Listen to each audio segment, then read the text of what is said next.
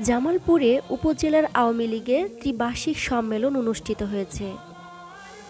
শনিবার বিকেলে জামালপুরের কাচারিপাড়ার সিংহজানি হাই স্কুল মাঠে উপজেলার আওয়ামী লীগের ত্রিবার্ষিক সম্মেলনে প্রধান অতিথি হিসেবে বক্তব্য রাখেন আওয়ামী লীগের প্রেসিডিয়াম সদস্য বেগম মতিয়া চৌধুরী এমপি বিশেষ অতিথি বক্তব্য রাখেন বাংলাদেশ আওয়ামী লীগের সাংগঠনিক সম্পাদক ও সাবেক প্রতিমন্ত্রী আলহাজ মির্জা আজম এমপি। সাংগঠনিক সম্পাদক শফিউল আলম চৌধুরী নাদেল, সাংস্কৃতিক সম্পাদক বাবু অসীম কুমার উকিল, সদস্য মারুফা আক্তার পপি, সদস্য উপদক্ষ রেমন্ড আরেং, সদর আসনের সংসদ সদস্য ইঞ্জিনিয়ার মুজাফফর হোসেন। জামালপুর পৌরসভার মেয়র ও শহর আওয়ামী লীগের সাধারণ সম্পাদক আলহাজ মোহাম্মদ সানোয়ার হোসেন সানু প্রমুখ।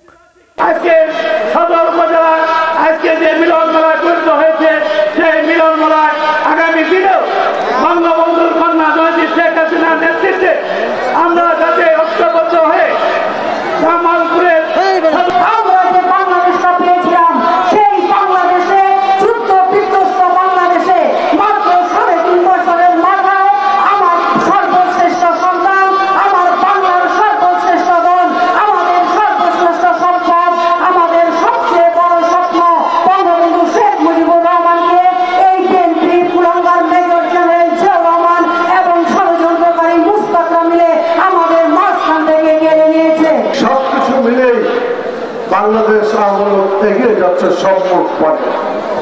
বছর শেষে বাংলাদেশ আওয়ামী লীগের কেন্দ্রীয় সম্মেলন।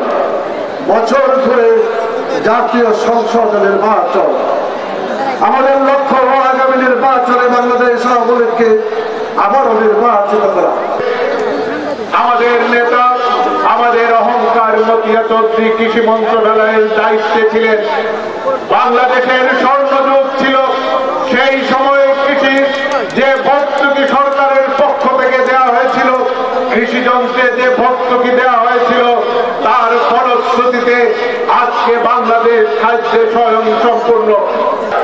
আজকে জামালপুর সদর উপজেলা আওয়ামী লীগের সম্মেলন।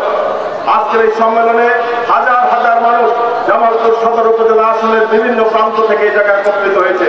এই জামালপুর সদর উপজেলা আওয়ামী লীগ, জামালপুর সদর উপজেলা আসনটি হলো নৌকা মার্কার দুর্গ বঙ্গবন্ধুর দুর্গ এবং যখনই কোনো এসেছে এই সদর আসন থেকে নৌকা কখনো পরাজিত করে নাই। এবং আজকে এই উপজেলা আওয়ামী লীগের সম্মেলনের মাধ্যমে হাজার হাজার মানুষের উপস্থিতি, এটাই প্রমাণ করে যে সদর উপজেলার মানুষ আওয়ামী লীগকে ভালোবাসে, বঙ্গবন্ধুকে ভালোবাসে, শেখ হাসিনাকে ভালোবাসে। যার জন্য আজকে জাতির পিতার কন্যা জন্মেছে শেখ হাসিনা, বঙ্গবন্ধু কন্যা শেখ হাসিনা। তিনি আজকে দেশের দায়িত্ব, তিনি কোনো হত্যাকুর মাধ্যমে পান। তিনি জনগণের রায় নিয়ে তিনি কিন্তু ক্ষমতায় আসীন হয়েছেন।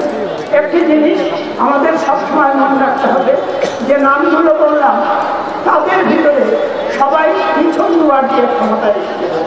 প্রধানমন্ত্রী বলেন, আর মার্শাল অ্যাডমিনিস্ট্রেটর বলেন, প্রেসিডেন্ট বলেন, সবই হয়েছিল তারা পিছন দুয়ার। একমাত্র আওয়ামী লীগ, বঙ্গবন্ধু, জনতার রায় নিয়ে এই দেশ স্বাধীন এবং এই দেশকে পরিচালিত করে স্বপ্নের সোনার বাংলা নামে আগে তাকে হত্যা করা হয়েছে। তার কন্যা দীর্ঘদিন লড়াই সংগ্রাম করেছে। জেল জুলুম নির্যাতন তিনি ভোগ করেছেন। বিদেশে নির্বাসনে ছিলেন কিন্তু কোনোদিন বাঁকা পথে ক্ষমতায় আসেন নাই একমাত্র জনগণের রায় নিয়েই তিনি বাংলাদেশে ক্ষমতায় আসীন এবং বাংলাদেশের সংবিধানের যে কথা অন্ন বস্ত্র শিক্ষা, চিকিৎসা, বাসস্থান, এই যে গ্যারান্টি এই গ্যারান্টিগুলি তিনি একে একে বাস্তবায়িত পাশাপাশি এই দেশের দরিদ্র মানুষ, হতভাগ্য মানুষ, ভাগ্যের কাছে নির্যাত, মার খাওয়া মানুষ তাদেরকে পরম মমতায় বুকে জড়িয়ে ধরে দেখুন, আমি দুটো ছবি সাংবাদিক ভাইদেরকে পাশাপাশি রেখে বিচার বিশ্লেষণ করতে বলব রোহিঙ্গারা যখন খালদা জিয়ার সময় এসেছিল হ্যাঁ তখনও ফটো শেষ হয়েছে কোনো একটা রোহিঙ্গা বাচ্চাকে তার মাথাটা দুই হাত দিয়ে ধরে খালদা জিয়ার মানে তার সঙ্গে ছবি তুলে ফটো সেশন শেষ রোহিঙ্গা বাচ্চা আর খুঁজে পাওয়া যায় না। আর শেখ হাসিনা যেভাবে সেই বাচ্চাদেরকে কোলে নিয়ে পরম মমতা তার নাকে আঘাতপ্রাপ্ত। তাকে বুকে জড়িয়ে ধরেছে এই ছবি। এতে কৃত্রিমতা নাই এবং এই ছবি মানে কোনো ফরমাইশ দিয়ে তৈরি হয়। কাজেই মানবতার মা শেখ হাসিনা আমরা যে কথাটা বলি, এটা বানোয়ার কোনো কথা না। তিনি তার কর্ম দিয়ে তিনি প্রমাণ করেছেন যে সত্যি তিনি মানবতার মা।